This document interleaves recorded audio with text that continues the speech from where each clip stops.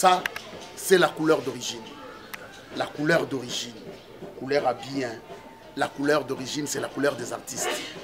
La couleur d'origine, c'est la couleur des émissions. La couleur d'origine, c'est la couleur de spectacle. Abonnez-vous. Bonjour, bon week-end. merci beaucoup nayebi boza ebele bozolanda biso en direct ya couleur d'origine tv boza ebele bozolanda moko ya, ya baanalyste na bino oyo amesana koleka mingimingi na couleur d'origine yannick ndombasi bongo vraiment toye masolo ya kitoko eza mpenza mingi lelo ya kosolola na bino tomonanaki mwa kala suite ya makambo ebele mais sikoyo tozongi vraiment d'actualité en direct ya couleur d'origine en tout cas bokota ebele ebele ebele ebele ebele ça c'est la couleur d'origine merci beaucoup très cher internaute tosepeli mingi vraiment kokutana lisusu na bino lelo makambo eza mingi vraiment il faut koloba mais ngonga vraiment eza moke botalaka bilili ndenge ezalaka yango wana toyebi bien ke mokili sikoyo monde entier eza frappe vraiment na pandémie moko ebeti biso ya coronavirus oyo vraiment etouche vraiment mokili mobimba alors na planète terre mobimba bafamille nyonso eza ndeye en tout cas na présente bacondoléance ba na ngai le plus sincère plus particulièrement na libota na ngai moko mpe na perdaki oncle na ngai na france na glini komona de la kiala akufaki depuis mardi le 31 mars 2020 oyo bakundaki ye samedi na france na cimetière ya corbeil nones en tout cas bandeko nyonso oyo baza vraiment na poto en tout cas na présente bino vraiment bacondoléance bacourage ebele na mama félicité na bandeko batikali papa antoine monsieur maludi rodi arnaud pour ne citer que cela en tout cas ba, ba bon courage biso mpe tozali la vie continue en tout cas mpe na mabota nyonso oyo baza ndeye meme ya bacongolais en tout cas vraiment na présente bacondoléance epuis babonne guérison na bandeko oyo bazali ba en voi ya kobika oyo bazozwa kisi surtout nakosenga na bino boespere beaucoup plus na guérison nakozala guéri parce que na thérapeutique médicale soki espoir ezali na espérance yango esalaka ke mpe motu abika malgré ozozwa kisi mais soki otie bamakanisi mosusu eza lie na négativité okomona ke situation ekosampire encore davantage mpona mpe bandeko bazwi yango nanu te lokola ngai mpe navandi awa en tout cas tomeka kozwa badisposition na baprécaution oyo baminganga bapesi na bato oyo vraiment bazali na mwa expérience na yango ndenge bapesi biso tozala vraiment na botosi makasi ya koyeba ndenge nini tokoki kose protéger na yango mpo bakongo balobaka nzambe onkeba nge mosiki keba donc eh, mibatela nzambe ye moko mpe abatela yo eza tomitika kaka bongo te nzambe akosala wana ekosimba te baprécaution badisposition nyonso bapesi to vraiment tomeka kolandela yango ekozala malamu kosokola maboko koporte bakashe ne makambo nyonso donc oyo oh, nyonso ezali comme bapréventif wana ekosala biso eh, malamu mingi vraiment mpe ekozala bien ma na bandeko oyo mpe babiki en tout cas courage ndenge mobiki nzambe azwa lokumu ndenge abikisi bino parce que lobiko eutaka nanu epai ya nzambe epuis na bakisi oyo bozwi vraiment mais bopartage mpe expérience wana na baninga mosusu parce que ya bino ça fait partie ya témoignage ya bato mosusu ça fera partie ya consolation mais ya bino ça fait partie ya témoignage lokola owuti wana obiki ntango ozoteya moninga akozala na baferme assurance makasi ayebi ke te na corona vraiment bato bazali kobika et puis plus particulièrement na présente lisusu bacondoléance plus attriste na nouvelle oyo tozwaki ekweli moko ya basali ya nzambe ya mboka na biso eh, pasteur moïse mbiye oyo mpe auti koperdre grand frère na ye oyo mpe aza mosali ya nzambe en tout cas révérend pasteur Avec tous les respects, je vous présente euh, mes condoléances les plus attristées. nayebi ata boye nanu tokutani te na nzela ya bilili en tout cas okolanda en tout cas vraiment ngai yannick ndombasi na partage vraiment mawa elongo na yo vraiment vraiment bacommisération wana na partage yango elongo na yo na libota mobimba talaka yo mpe responsable papa libota papa mpe azali nayebi etouche famille mais yo lokola mpe oza mosala ya nzambe oza pilier na kati ya temple oyeba mpe ndenge nini okokonsole bandeko mosusu oyo baza nanu peut-être na maîtrise ya makambo yango te ekozala malamu mais toute fois tokotika yo te tokoassiste yo soki programme epesami ngai moko mpe personnellement nakoleka tokokutana ekozala malamu mingi vraiment vraiment nous sommes de cœur avec vous pasteur moïse mbiye toza na yo nzambe mpe yesu wana osambelaka akotika yo te akoyeba ndenge nini akopanse baple wana parce que oyo ekomeli yo yango mpe eutaki kokomela ngai mpo takuta ekauki te nayoki su ya yo pa sere therese moko ya basere na yo kuna na cité betel ye nde abengaki ngai abi ah, tala paster akufeli vraiment en tout cas epesaki mpasi makasi toyebi bamama nandi ya ngai likiano baza wana antuka pembeni na yo bakokonsole yo yo mpe okonsole mpe libota surtout papa mbiye ye moko le père okonsole mpo choc vraiment eza ya makasi tuka paster vraiment courage de bon courage vraiment zwa makasi telema lokola mobali nyonso atelemaka eza makambo elekaka parce que nous sommes des pèlerins yo moko oteyaka la vie est une mutation toyaki na mokili mpe tokotika yango yango pour preuve motu ntango abotamaka omoni ke ata aleli te babetaka bambata na hôpital asali na eloko te mpo alela kaka me mokolo moto akufaka ye moko azolela te baoyo batikali bango nde bazolela me mokolo abotamaki ye moko abanda kolela me misusu babandaki koyoka esengo vraiment eza likambo ya pasi ya pasi kokabwana kokabwana eza vraiment pasi na kosenga na yo courage ebele pasteur moise mbiye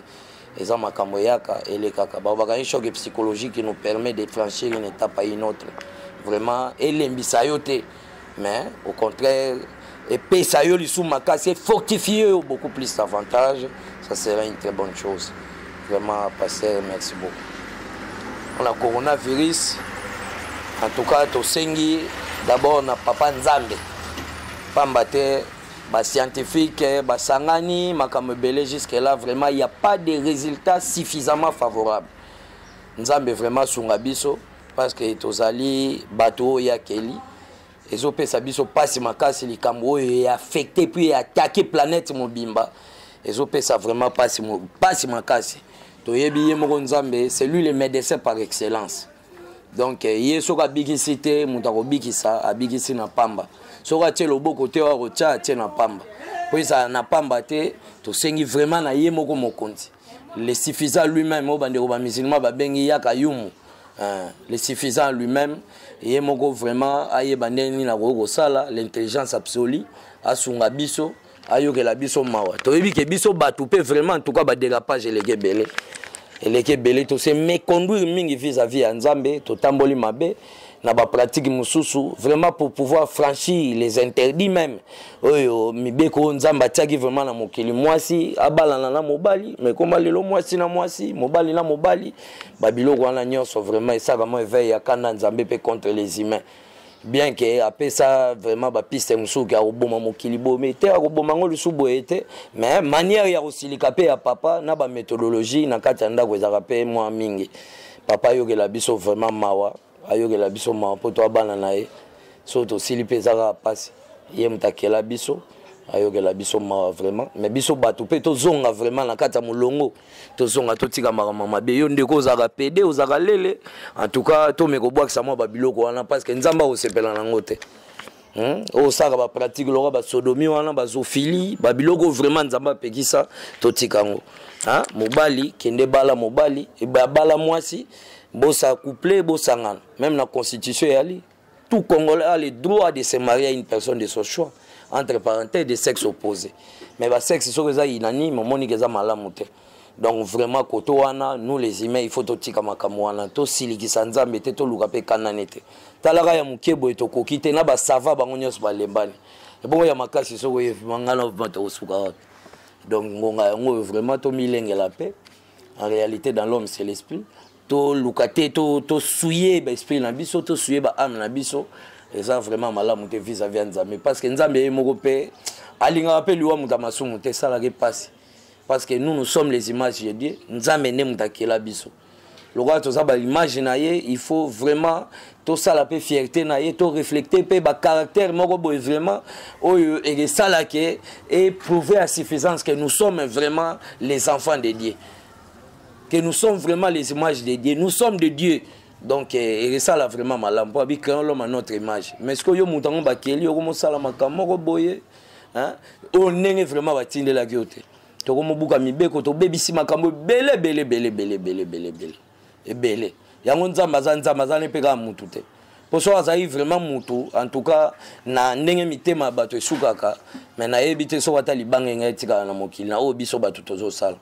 to reconnaitre tosenga pardon dernièrement nalandaki président trump na baréseau sociaux namoni bapasteur bakopriele azosenga mawa nzambe c'est une bonne chose c'est une bonne chose nous sommes les humains toza na temps et puis toza na droit nyonso ya kosimilie devant nzambe parce que ye nde mokeli na biso ye nde mokeli na biso parce que c'est lui l'intelligence absolue qui est à l'origine de toutes les créations et dont l'essence imprégnée qu'il anime tout ce qui existe donc biso nyonso toza na disposition na ye toza na se ya makolo na ye toza sous ordre na ye ozala nani ozala nani toza sous ordre na ye talaka motu babanda banda alekaka te me bato babanda ebele tomona bakonzi ebele na mokili baroi pharaon baya baleka baye baye baleki baleki baleki baleki baleki baprésident mobutu bazala bamperere bokasa baleka lelo mpe baoyo toza na bango bakoleka me nzambe wana kotikala kaka donc c'est inutile ke tosalaka baba biloko mosusu boye lere mosusu mpo totombokisa ye papa na ye mille égal un jour okosala eloko mosusu ya mabe pendant 10 20 ans oke pana représente lango kaka batiexe yo moni osala yango pendant très longtemps oke jour aozwa yo ezala faux otalaka kaka vio ya balabala nsima wana maseke ye soki akangi yo nzambe soki akoteli yo akobikisa yo ebongo sikoyo nzambe ye moko soki azwi yo nani to akotela commandant suprême des armées eh, cher internaute vraiment en tout cas tomeka kochange nano soki tochange ezala bien nil n'est parfait bien que tokokoka yango ntina suka te mais que l'on fasse l'effort to améliorer beaucoup plus davantage une grande partie ya bamabe oyo tosali vraiment to assimile yango vraimen na malamu pour que record ya baénergie positive emata beaucoup plus emata vraiment makasi ematama makasi ntango ye mo nzambe mpe na kotala mpe na sablie amoni mpe nake te bolamu vraiment na kati ya balance eleki ebele wana en tout cas eza vraiment malamu mingi tokomona babiloko ya mbilinga mbilinga oyo ebima te mpo aske bakorona ozomona eza bavangu soki tobi tokontinue omona ye mosusu soko koronini yango wana ebima susu ozomona donc soki ebimi susu donc eza vraiment mwa degat eza mwa degat vraiment eza malamu te hein, cher internaute vraiment makambo wana opartage na bino nasololaki yango vraiment na peti na ngai mpe komona ye bobo hein, aza artiste tosololaki na ye vraiment ayebisi ngai abi te kulutu makambo oyo toanalyse eza makambo ya malamu tosololaki yango mpe na basala nzambe baprofete eli bapaster bofa tosololaki yango bagrand motoliongo ti tosololaki yango vraiment tobaki te tokotika yango boye te telema eza masolo elengi lokola bilili mpe ezali bachere internaute mpe balanda yango vraiment eh, to etendre yango sur l'ensemble ya planète mobimba bandeko bameka kozwa message wana bino mpe oyo boyebi mpe lingala eke bandeko mosusu baya neti na australie bayebi na bango lingala te en tout cas bino bato boza kuna bomeka kointerprete message oyo parce que ce sont des messages moko vraiment eza basignaux fort eza vraiment malamu vraiment na kote wana vraiment en tout cas mwa conseil oyo ya moke ezalaki ngai ndeko na bino nazalaki nango yango wana namoni vraiment napesa mpo tomeka kochange mwa moke naye nakosenga mpe na bakonzi ya mboka senga na bakonzi ya mboka surtout na commandant suprême des armées en tout cas natelemi avec beaucoup de respect Le président de la République, euh, Papa Félix Chilombo Antoine Tshisekedi, président de la République, garant de la nation, garant de la Constitution, commandant suprême des armées, magistrat suprême. toyebi ke na rdc apres nzambe eza yo awa na mboka oyo na 2 million 345 410 km carré ya superficie toza nango apres nzambe eza yo mokonzi ya mboka en tout cas eloko mwa moke ngai mwana na yo yannick ndombasi nakosenga vraiment papa rigueur oyo ozoya nango papa en tout cas econtinue bongo rigueur wana vraiment eza malamu vraiment état de droit mais nakosepela lisusu omeka kosala biso bapeuple na yo plaisir parce que mesure oyo okozwa wana ona kopropose esepelisa mpe nzambe ndenge lefe mpe ya son ame président mugabe asalaki na mboka na ye na zimbabwe azwi bapede akangi bango azwi ba lesbienne mpe akangi bango basaleli bango baselile na baprison bakangi bango condition avobima il faut zwa zemi mpo nzambe bakorijaka ye te papa parce que eza culture na biso te uta bokoko na biso nous sommes des bantou makambo wana awa etikala kozala te etikala kozala te vraiment dernièrement nazalaki choqué na koya boye na kimbondo vraiment na tinali wana kota mwa colonel na veni tonde wana vraiment donc mwana mwasi azobeta mwana mwasi nga kuna kanti ya na leki topusana tokabola boye nzoka nde baza mwasi na mobali me ya basi basi donc eza biloko moko boye vraiment eza kitoko te eza na culture na biso te vraiment papa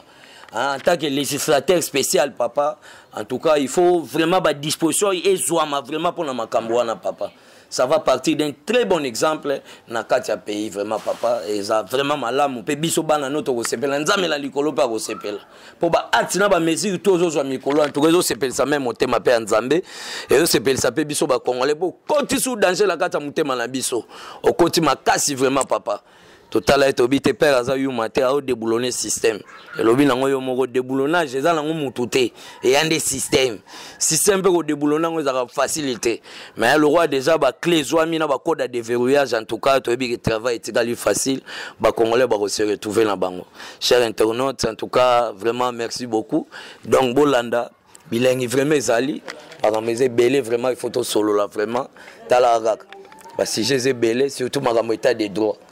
état des droits, ils ont qui pété. En tout cas, oyo vraiment aza na besoin na nga nayebi ke boza na besoin na nga ebele na bemission eleki napesaki vraiment numero en tout cas pile vraiment banda kozala vraiment décharge na journée moko tellement bapele elekaki ebele en tout cas contact ezali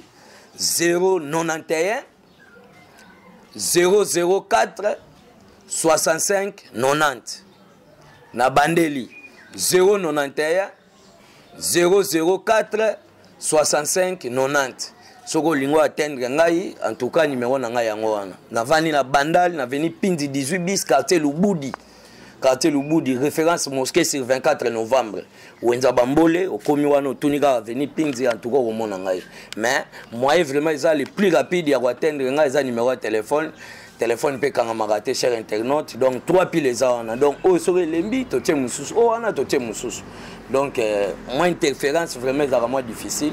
donc euh, vraiment so bobengi tokozwana à très bientôt na sepeli bye bye couleur d'origine tv makambo ya lumière seke makambo monde entier makambo partout so olingi ozwa bainformation asire ya bastar na bino so bolingi bomona bastar na bino na ndenge ya bien babi basololaka kitoko bapolémike ah, oh, oh, oh, ezalaka te information sire epuis source couleur d'origine tv ah, seke eza makambo ya lumière seke eza makambo ya paysage seke eza makambo makambo makambo ya gdg crispin lenga babi motema ya fleuris boya boya boya e boya kotali chaine na biso asika couleur d'origine tv boya kotali yelelele couleur d'origine tv ememeli biso ya sika oo oh, oh. basiba basiba wowowo basiba ah, babi nga mona confirme ngo papa geti notre madi sniper babige chaîne na biso couleur d'origine tv toujours formidable couleur d'origine tv ya, ya boss christian lenga crispin lenga crispin lenga motema mama fleuris motema mama fleuris baza na états-unis hein. nalela bino fort crispin Crispin Lenga. Crispin Lenga. Motema mama Fleuris. Motema ya mama Fleuris. Na États-Unis. Na États-Unis. tosabone biso nyonso awa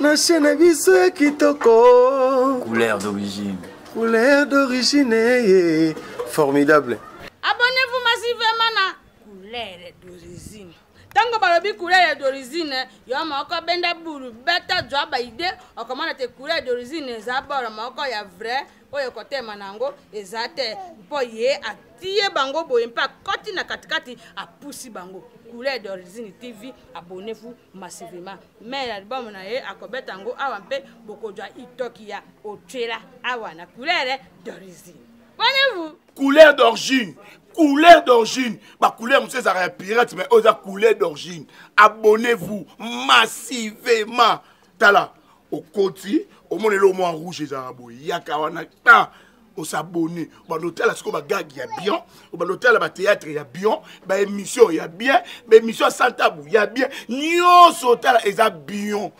gars abion te awa les te et elekaka eza tous tosabone massivement a ma ça c'est la couleur d'origine la couleur d'origine couleur bien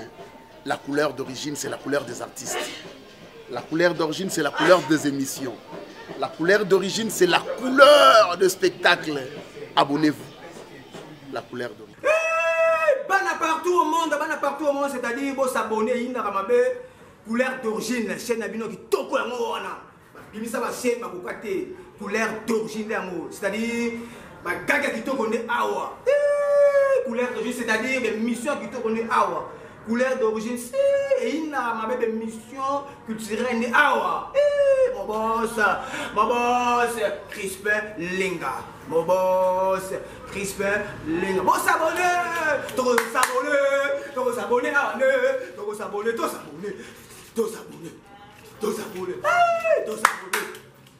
Tous abonnés, Paoto, tous abonnés, Kisasa, tous abonnés. S'abonnons tous ne awa. ndeka tolobi bos crispin lenga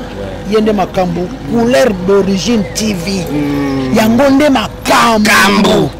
babi couleur couleur d'origine d'origine tv tv mitali yo soki osabole wana te omona vie njona te omona fali pupa te omona mbalo sombo te omona kofi olomide te omona jibe piana te orate bamakichasa taka toa butu babatambolaka butu butu tayero toa minuit toa minuit mais tokotakota kaka oyo bokesi obaka tokota tokota couleur d'origine tv ya, ya boss Christian Lenga Crispin Lenga Crispin Lenga motema maman Fleuris motema maman Fleuris baza na États-Unis na lela bino fort